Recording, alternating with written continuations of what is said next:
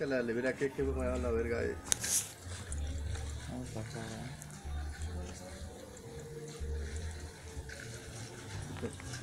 Le pago una máquina de manda y la saco para que se me van a retacar el bote. Luego para retacar el bote. Me puedo dejar a en los ¿no?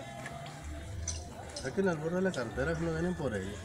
De donde sea, pero tapa el camino y se la lleva.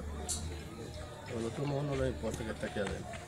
Y eso está peligroso porque se puede volver a prender. No, eso no es seguro que prende, tiene más combustible que otra cosa.